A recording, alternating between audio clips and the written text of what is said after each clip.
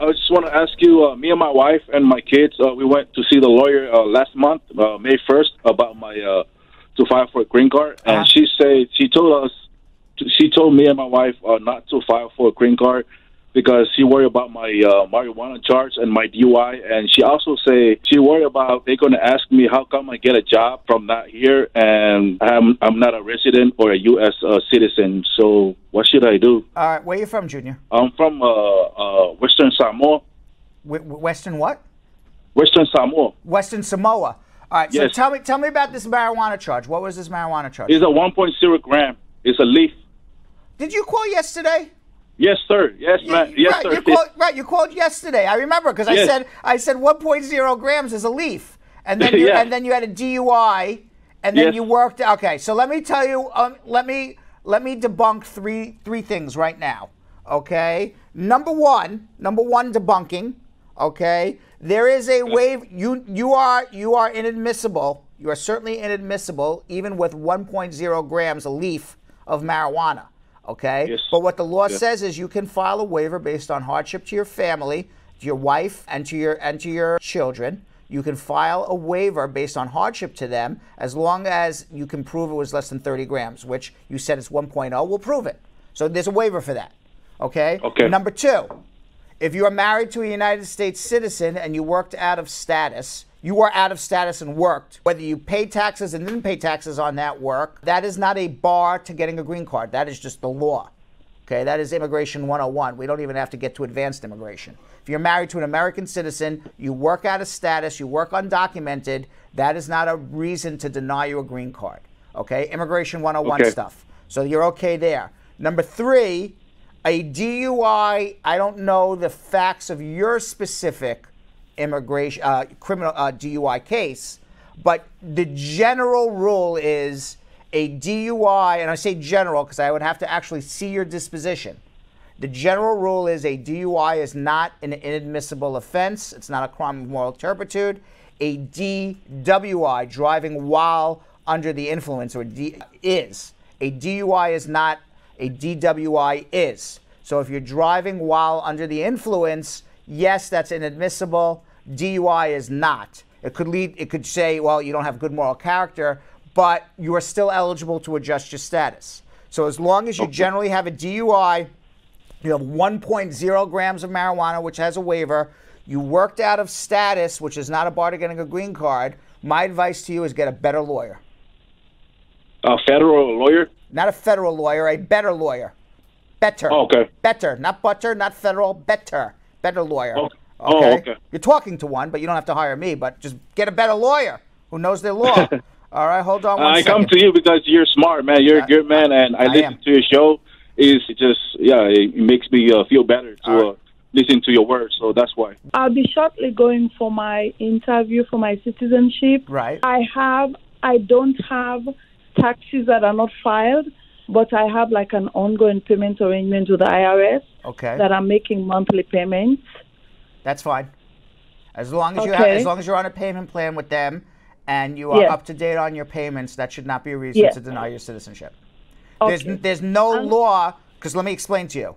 There's no Okay. law in the Immigration Nationality Act that says if you owe, you know, taxes, you don't become a citizen. Okay? Just Mm-hmm. Because you can't afford to pay your taxes doesn't mean you can't afford to become a citizen. I mean, you're not eligible to be a citizen. Now, what the law says is if you don't file a tax return that you were supposed to file, then Right. then that's a different story. Okay, that's Okay. that's bad moral character. If you file a tax return and you Yeah. owe all this money and you make no arrangements to pay it and you just keep owing it and say screw government, I'm not going to pay it even though I filed this tax return, that's also bad moral character.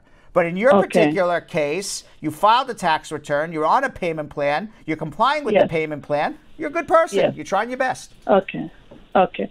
Right. Another question. Right.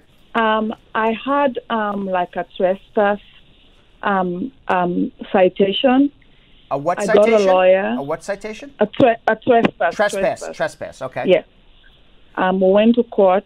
The day we went to court, they just, um, I think she arranged with the prosecutor, and I just did community service. And after that, they sent me another letter saying that they, they dismissed it. Okay. It's still a conviction. because Okay. if you did community service, you had to have pled guilty to something because you don't do community service Mm-hmm. Okay. and not plead guilty to something. Where was this Okay. trespass? In Maryland or in New Um, where? In Maryland. In Maryland. I don't know the penal code of Maryland, unfortunately. Uh, generally, in almost every state, a trespass is, is a petty offense.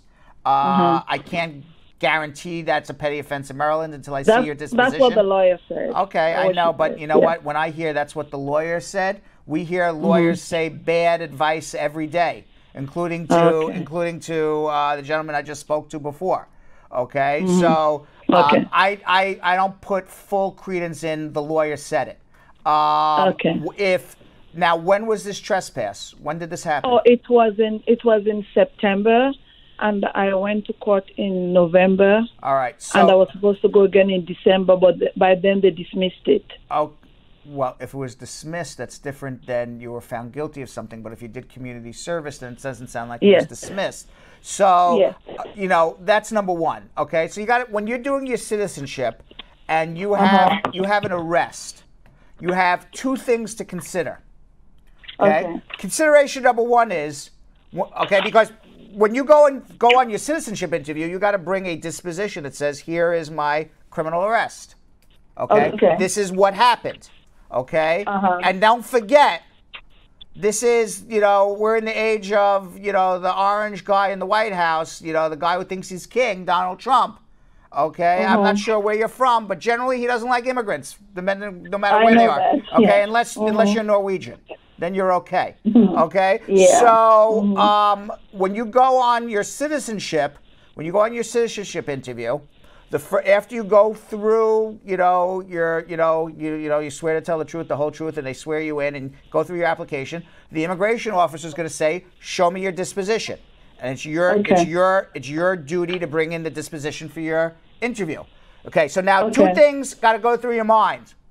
Mm-hmm. You're showing a disposition of a criminal record to an immigration officer.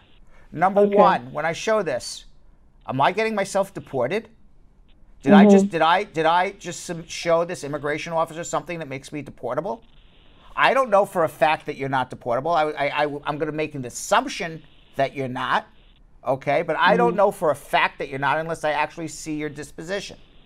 Okay, Okay. so number I have one, right here. good. I don't I don't have. notice, Okay, you, it doesn't. notice of knowledge prosecute. Okay, nole prosecution. Okay, so then you didn't do community service then. No prosecution means they dropped the charges. Okay? Yes, So okay, yes. so all right, so good. All right. So now now we know that you didn't plead guilty Uh-huh. to a crime, uh, so you won't get deported. Okay. Okay. Now the next thing you have to consider is okay, even though I won't get deported, even though I won't get deported, when I present this, am I showing that I don't have good moral character to become a citizen in the last five years? Now you have an arrest. You have an arrest within. Well, it was a citation. I, I wasn't arrested. it doesn't. Okay, you. It's a citation. Okay. Uh-huh. It still. It still goes towards good moral character. Okay. Okay. Now, the, the the government chose to drop it. Whatever the whatever the situation was that you found yourself, you know, you know where you shouldn't have been. You know, Mm-hmm. my my my my feeling on on these situations is if you have one arrest within the five year period of citizenship, and uh, the case was dropped by the prosecutor, which is basically what happened with you. My belief is is that you know, and this is what the law says. I'll tell you what the law says, and then I'll tell you my belief after. Law says you know you have to be a person of good moral character for the last five years. It doesn't mean that for every minute and every second of the last five years you're a person of good moral character. The law just says that you generally you have to be a person of good moral character.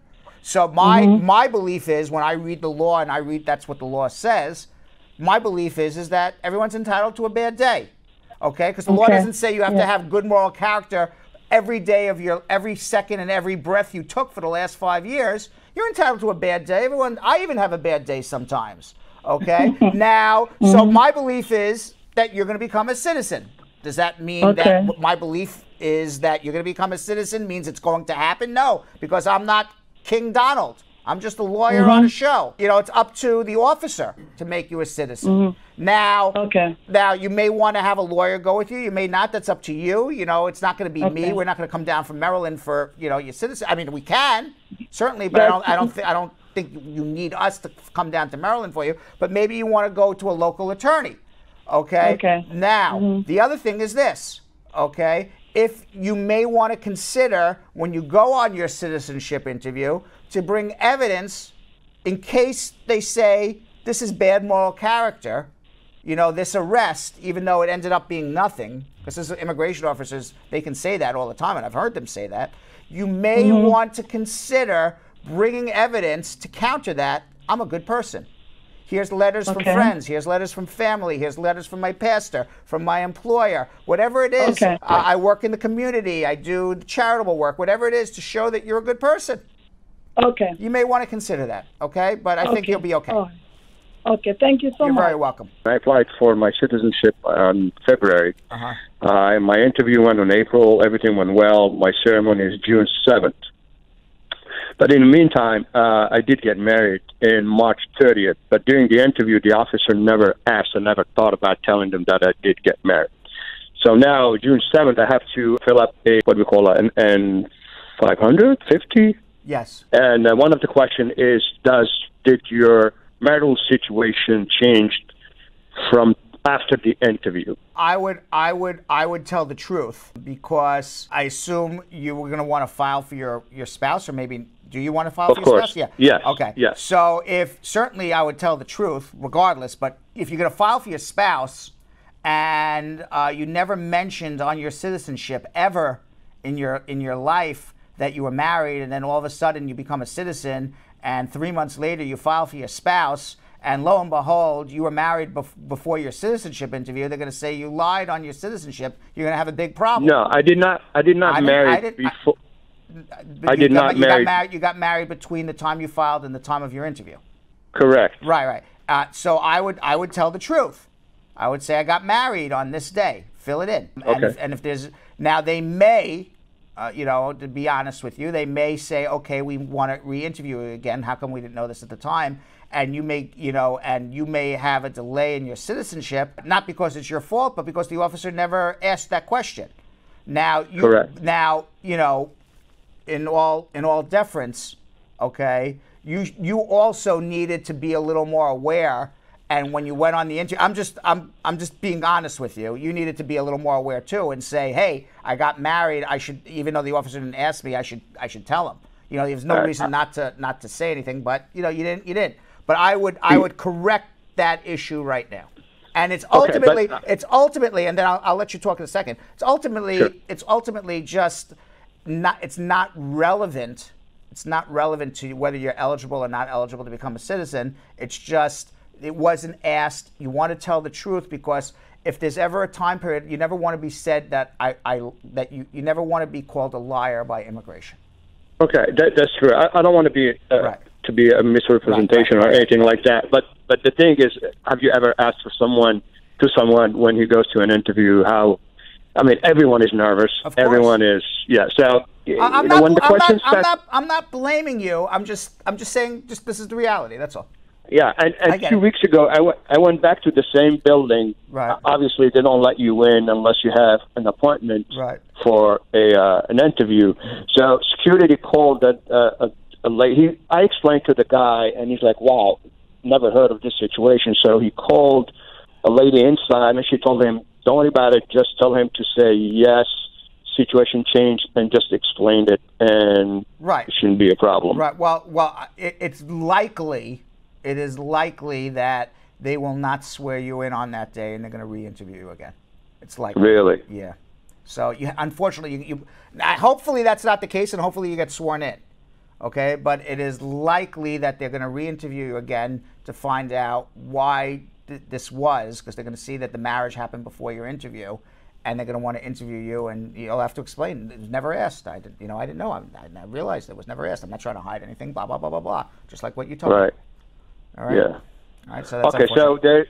there on June seventh, there's a possibility that I'm not going to be a citizen. oh, you'll become a citizen. I'm just saying it may not be in seven days from now. Yes. Right. Okay. All right. I really appreciate it, man. All right. Good luck. Thank you. All right. Bye. I have the question about my parents. So I'm a U.S. citizen, right? So my parents uh, got here last Christmas as a visitor, and uh, what happened was I had a return ticket too from San Francisco Airport with my whole of my family, except me because I have a kid also. So what happened was we missed our flight, you know. So we missed our flight. Now uh, we came back to Texas. Uh, the flight was from San Francisco. Right. Now what happened is like you know I don't know either I filed for my uh, parents as a petition or just uh, their status or uh, you know because their passport says they have to live uh, like within the six month period, Okay. which is like twenty more days. Uh, how, how old are you? How old are you? You're over 21, I assume. I'm I'm 32. Okay. And your parents are from what country? Nepal. Nepal. And they've been here Yes, for sir. how long now? Uh, so it's been like over five months. So Okay. they have like uh, one Okay, more all right, month. So this is what over. you're going to do. For each of you, Okay. for your mother and for your father, you're going to do two separate adjustment applications: an I-485, an I-130, an I-864 affidavit of support, an I-765 work permit, and I-131 advanced parole. You're going to do that adjustment package for your father. You're going to do that same adjustment package for your mother. They're going to adjust their statuses here, and they can get their green cards here if you choose.